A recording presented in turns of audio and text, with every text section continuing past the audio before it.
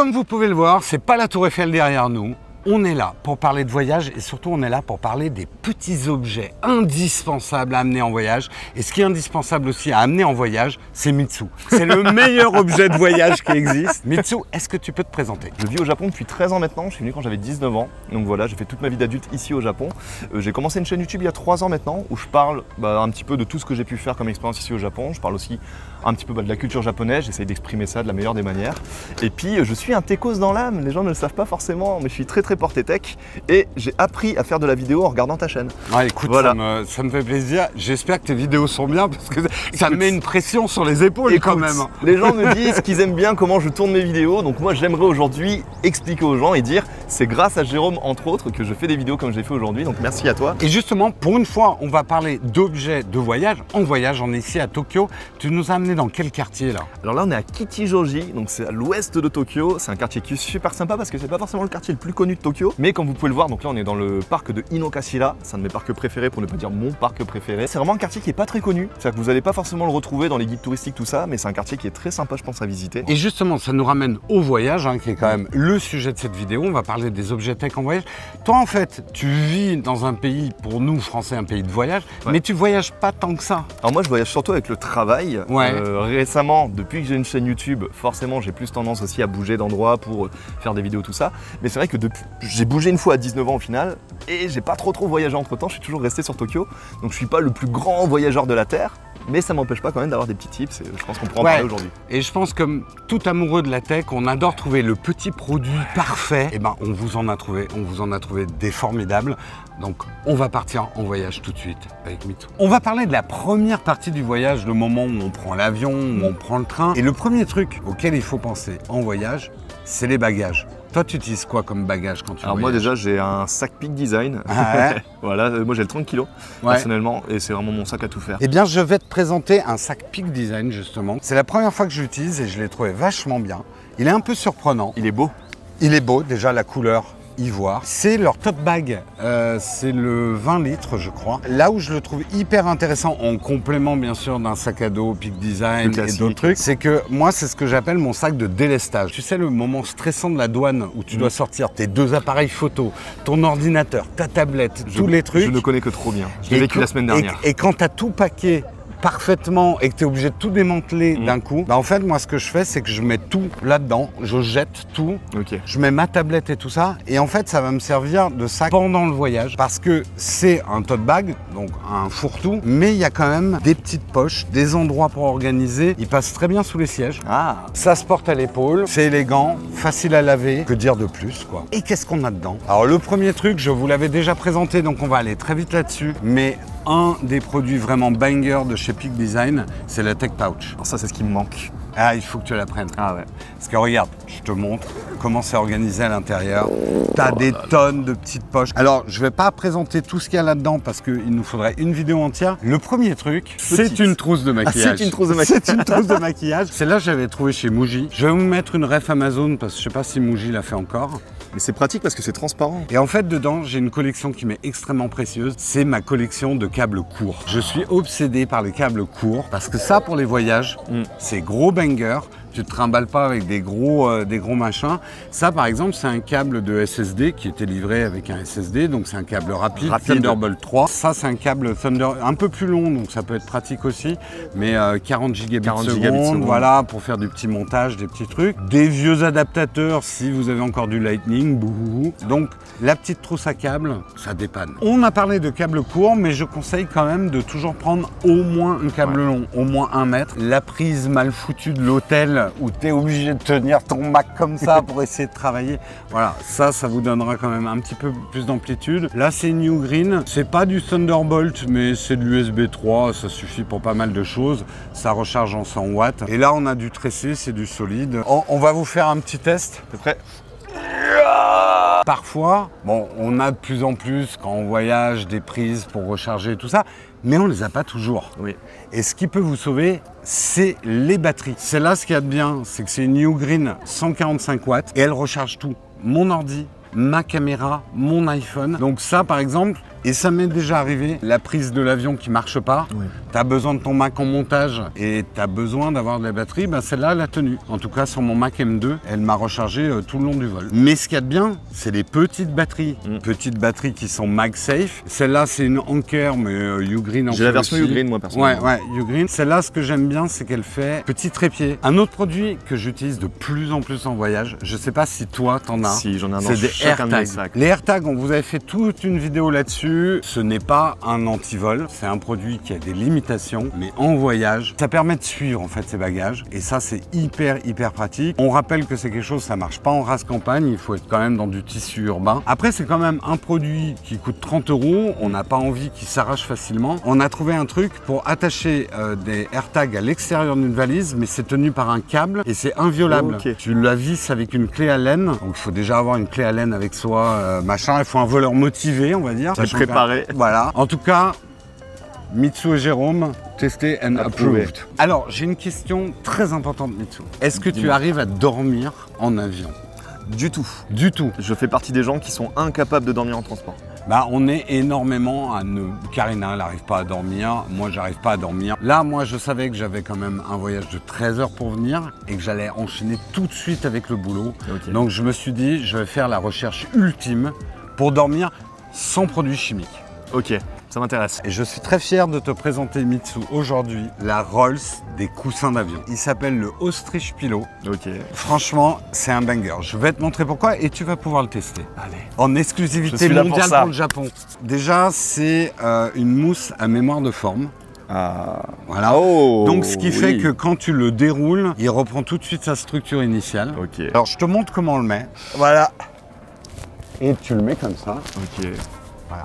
Le gros avantage de ce type de système, qui tient plus de la minerve que du coussin, Oui, c'est que un des plus gros problèmes qu'on a en avion, c'est que ta tête part toujours vers l'avant Mm. et tu te fais des torticolis parce que ta tête tombe sur ton poitrail. Ça te réveille. Ici, le mouvement vers l'avant est amorti. Sur les côtés aussi. Donc en fait, ta nuque ne sera jamais dans une mauvaise position. Derrière, il n'y a pas trop de mousse.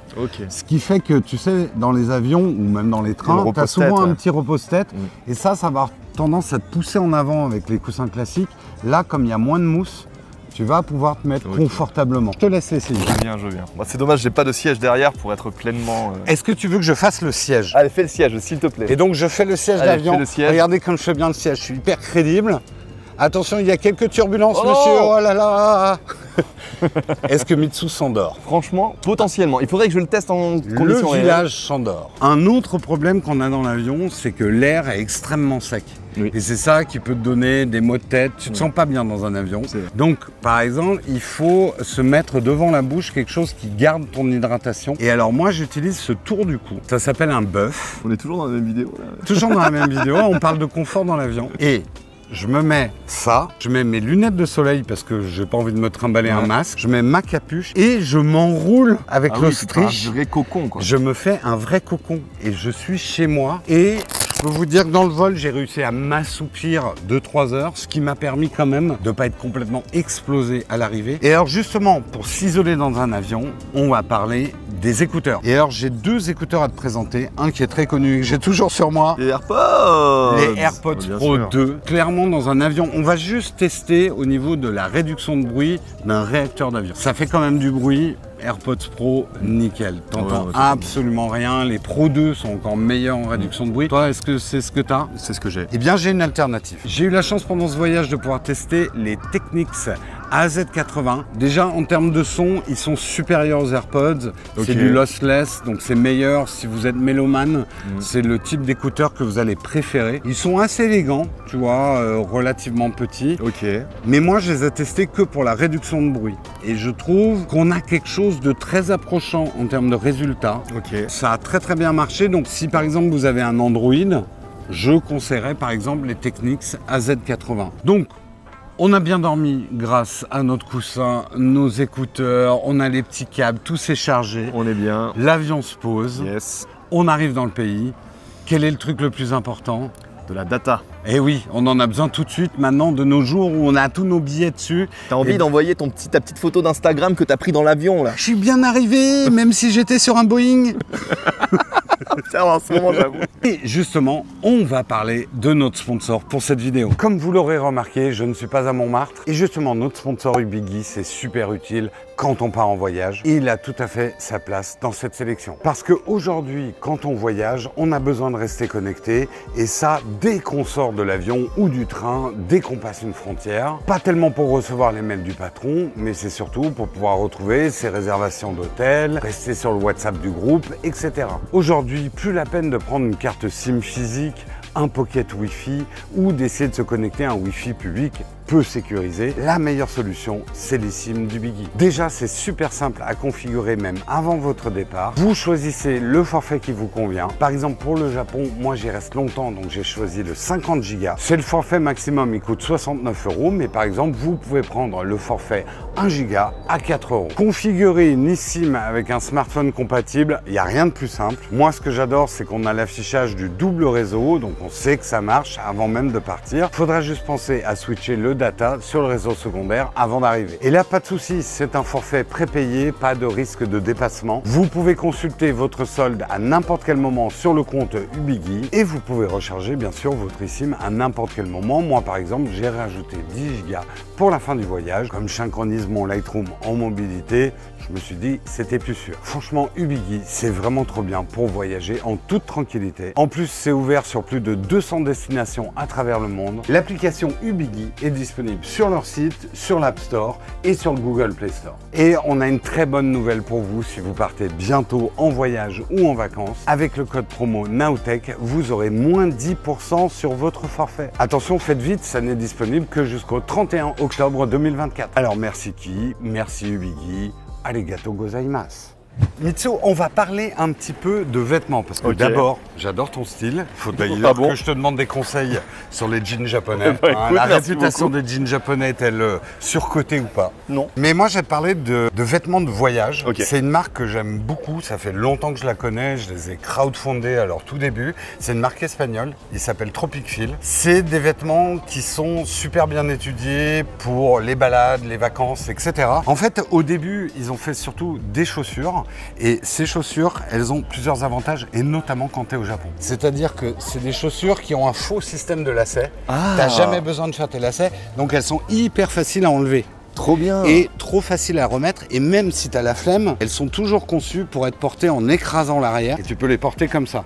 trop bien. Donc ça, c'est Et vachement ça, au. Japon, c'est pratique parce que tu dois retirer tes pompes partout. Exactement. C'est vraiment bien pour le coup. ouais. Et donc, c'est trop facile à remettre. Hop, voilà, je sors du temple.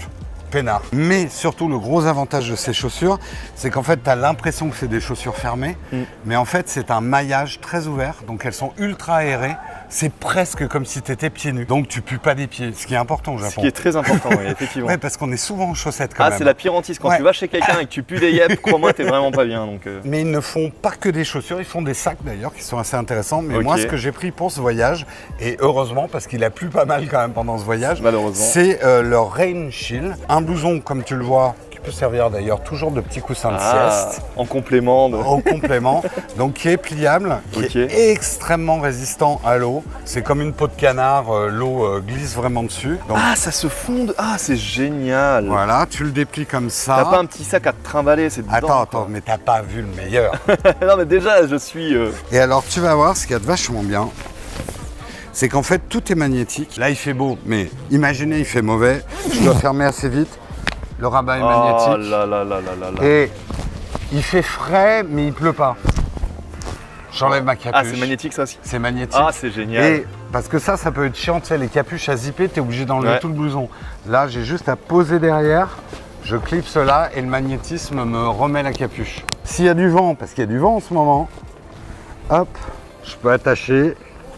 Et voilà, le petit look intégral. C'est un couteau suisse, quoi, c'est génial. J'ai pas un code d'affiliation pour Tropic Film, mais j'ai un code partenaire, ça vous donnera 10% de réduction. Et euh, puisque je suis avec euh, celui que je considère le sensei absolu du combini, Merci beaucoup. on va aller faire un petit tour au combini et je vais te montrer un petit produit Mmh. que j'ai trouvé idéal pour les combini, même deux produits que j'ai trouvé idéaux pour les combini. Eh bien, écoute.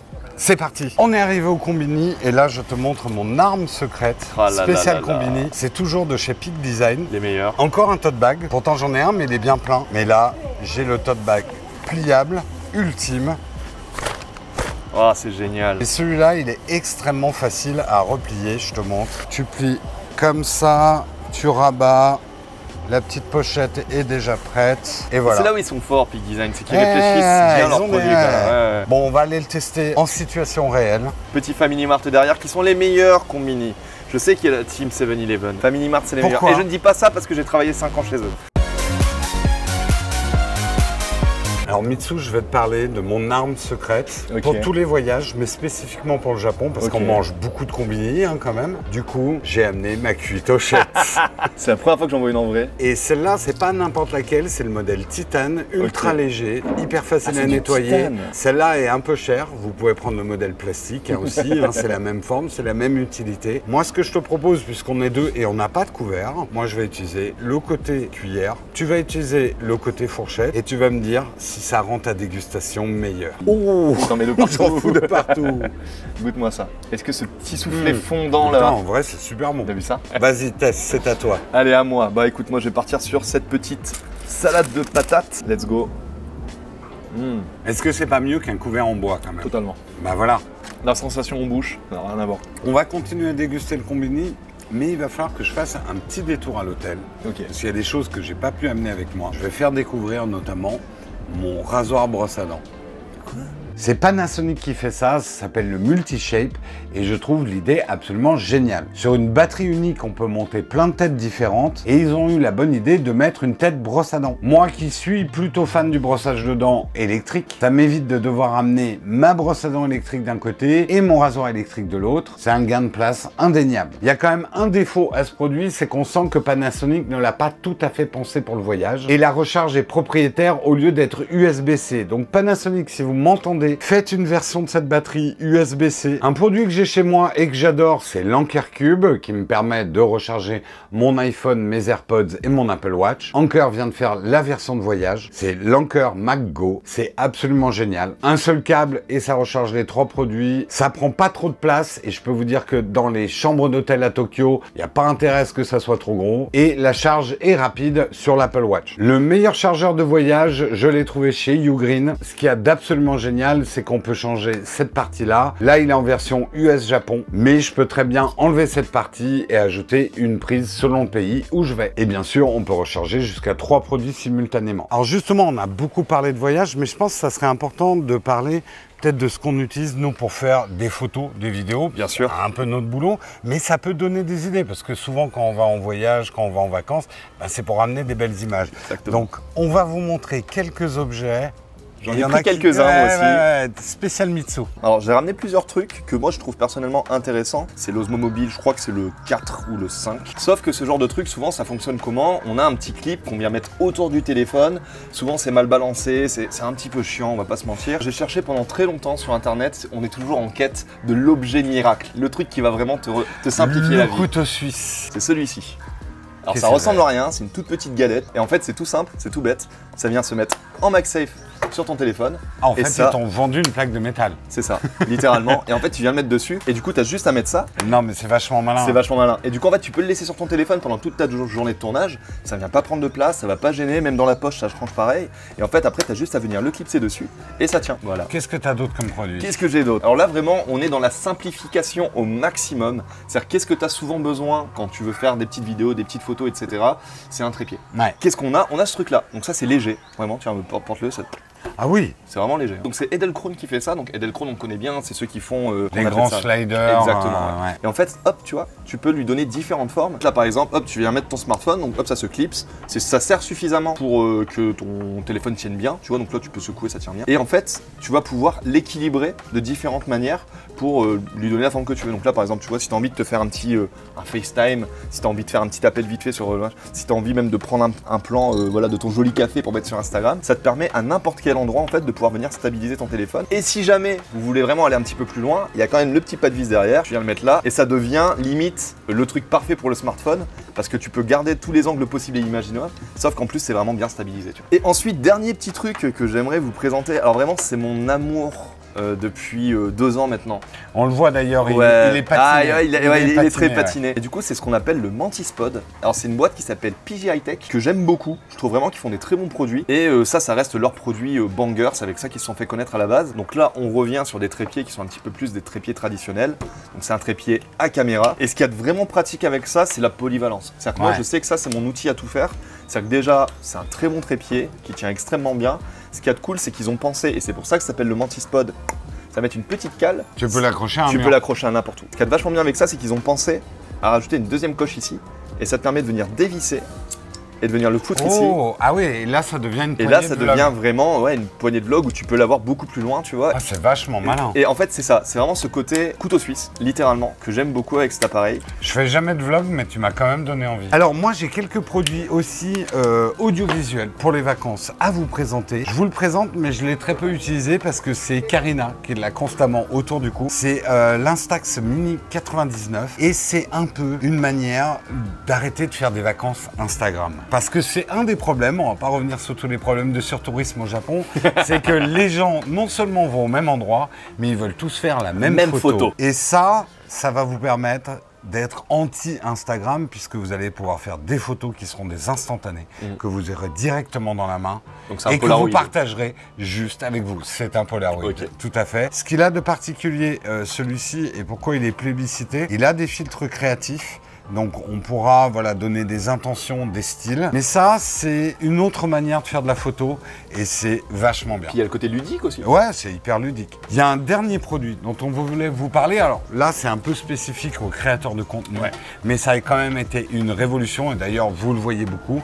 Et nous, c'est Mike et Et Mike. On vous présente les deux petits Mike. c'est nos deux petits mics de Ouais. chez DJI. Chez DJI. Et je te laisse un peu expliquer à quel point, pour que les gens comprennent, ça a changé notre métier, ces petits micros ultra légers. Une problématique qu'on a toujours quand on fait de la vidéo, c'est que tu le dis souvent, mais le son c'est ultra important. C'est-à-dire qu'une belle image avec un son dégueulasse, ça fait une mauvaise vidéo. Et en fait, ce qu'il y a de bien avec ce style de micro là, c'est que ça répond vraiment limite à toutes les attentes que tu peux avoir. Et donc en gros, il y a plusieurs marques, dont DJI, qui ont du coup développé ce genre de truc. Et ce qu'il y a de génial, c'est que là par exemple, vous voyez, on l'a, c'est pratique, la batterie elle tient toute la journée, le son il est franchement très correct pour ce que c'est, c'est tout petit. Vous avez une petite boîte comme celle-là avec le récepteur ici, deux émetteurs, donc vous avez deux micros, ne serait-ce que pour faire des podcasts, pour faire comme on fait en ce moment, deux à parler, avoir deux micros dans la boîte, c'est vraiment super pratique. Ça se recharge comme des AirPods. Bah, il suffit de les ranger, ça recharge. et ça recharge automatiquement. Vous avez le petit récepteur qui se connecte à une caméra. Mais aussi Au, au, téléphone, c'est ça, c'est que là vous voyez dans la version 1, on a deux petits bitonios comme ça qui viennent se mettre là-dessus et ça vous permet de le connecter directement au smartphone. Mais ce que j'aime beaucoup dans le système de DJI, c'est l'intelligence de l'aimant. Le Ils clip. ont mis un, un système de clip aimant. Mais si on se met une petite plaque métallique ici, Exactement. ou l'aimant qui est fourni, de simplement le mettre directement sur le t-shirt. C'est vraiment le produit euh, qui prend le son pour les gens qui ne sont pas des ingénieurs son. Ouais. Mitsu, on arrive hélas à la fin de cette vidéo. Le soleil est en train de se coucher. Merci beaucoup. Ça Eh m'a ben, fait super plaisir de partager cette vidéo avec Moi, toi. tu peux même pas imaginer à quel point. Et, euh, et je pense, et je pense que vous serez d'accord avec moi dans les commentaires, qu'il faut absolument qu'on revienne faire une partie 2. hein. le plus tôt sera le mieux. Partie combini, juste une vidéo combini. Juste, juste le combini, en fait, c'est trop bien. On espère que vous aurez trouvé des produits qui vous inspireront pour vos voyages, pour vos vacances. Bien évidemment, on est parti sur une liste super exhaustive. hein. N'achetez pas tout ça, bien, Bien sûr. sûr. On a relancé la mode de la cuitochette. Ah, totalement. Hein, je pense que le rasoir euh, brosse à dents, ça, ça va marquer les esprits. hein. on a eu quand même euh, quelques bangers qu'on vous a présentés dans cette vidéo. Et puis, je vous invite à regarder, j'ai fait une playlist pour vous bah, de toutes les vidéos où on présente justement des produits Ah. de l'été, de l'hiver, de printemps, de l'automne, du nuit, de la journée, de l'eau, de l'air, de la terre. De... Excuse-moi, je suis parti. J'ai beaucoup de mal à vous laisser parce que ça veut dire que bah on va quitter Mitsu et c'est juste impossible. Donc je propose qu'on enchaîne tout de suite sur une deuxième vidéo. C'est parti.